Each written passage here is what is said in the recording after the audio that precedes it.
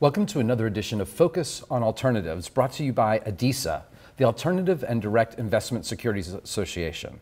For more educational content like this, please check out the resource library at adisa.org. My name is Greg Moz, and I'm joined today by Jeff Schaefer of Uncommon Good, co founder and CEO. Thank you for joining us. That's great to be, be here. Yeah, we're going to be talking impact investing. Um, can you start off by just defining what is impact investing? Yeah, impact investing is this idea of investing for not only financial returns, but also social, environmental type impacts as well. The key though is, is it's about the outcomes. So you've probably heard ESG. Uh, ESG is more about how a business functions now and today. Uh, impact is about the outcomes, both financials and non-financial metrics. Okay. Uh, explain a little bit more about that. How do investors find impact investing and how do they evaluate impact investments? Yeah, so this is what's been so cool about watching this industry grow over the last seven years is um, you can find these much more prevalent today. But the advice I'd give people when they think about how to find or what is an impact investment, there's really four things I would think about. One, define the expectation return that you're looking at. So there's a common notion that you can't make money and do good, that's concessionary. Well, actually, there's a lot of wonderful opportunities to make capital. But you want to define, is this set up to try to make money or not? The second thing is intentionality of impact. So are the, is this manager, is this company truly setting up a business to not only drive financial metrics, but also the non-financial metrics? Um, and then the other thing you want to look at is, are they reporting and measuring the different outcomes that they say they're going to? And then finally, you want to make sure it's sustainable. Um, is it has a long-term value? Are they extracting value or are they creating value for multiple shareholders or all stakeholders actually? Okay. Uh, there's this myth out there, you know, can you make money and still do good? Can, can you just address that head on? Yeah, well, I love that question because uh, immediately what goes in my head is, so every time you make money, are you doing something bad? Well, we all know that's not the case. Um, and so I'll just use my own example, um, actually how I got in impact investing. I started investing in affordable housing and mobile home communities.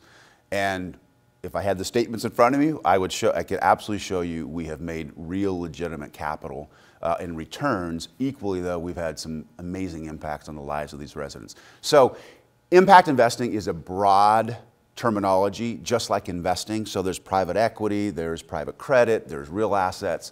And so to make a blanket statement and say everything makes money would be disingenuous. But are there investments out there, a lot of them that make uh, serious capital and do good? Absolutely. Okay, we have a lot of financial advisors in the audience. Um, should they be bringing this up to clients if clients aren't bringing it up to them? And then, kind of a, a continuation of that, who, who is actually investing in impact? Yeah. I'll start with the, your first, uh, or actually the second question who's, who's investing this way? So, this is not a new trend. Uh, this has been going on uh, probably from the 70s on. Um, institutional investors, foundations, endowments have been investing this way for a number of years. The exciting part is, is it's now starting to come down into the broker-dealer and RIA world. Um, I would tell you, as somebody who came from traditional alternative investment, investing for 20 years as an executive, switched to impact, uh, we are talking to registered investment advisors, family offices all around the United States who are starting to implement this. So it is real, it is happening. Um, and ultimately, it's about connecting with your clients in a deeper way, not only on the financial side, but also on the non financial stuff as well. So, where, where are we in this trend? Is this widely adopted? Is this, are we on the like the starting yard line here? And should advisors use this as a way to differentiate themselves? Yeah, um, we clearly are on the early cusp of adoption for impact. ESG, on the other hand, typically is public related securities. That is much bigger and is much further along. Impact um, is going to and will continue to grow. I think what most people don't realize is, and I'm not a fan of this word, but the ecosystem around impact investing has grown tremendously. And so there are a lot of things happening that most people aren't aware of. Um, and so, yeah, I absolutely would be talking to uh, your investors and clients about this. There's many reasons. 87% um, of millennials want to align their values um, with their investments.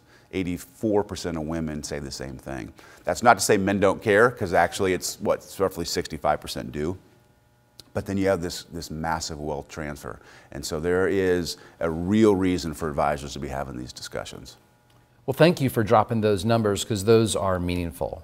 And thanks for walking us through the high level of impact investing. I appreciate it, Jeff. Yeah, thank you. And thank you all for watching. For more educational content like this, please visit adisa.org. Thank you.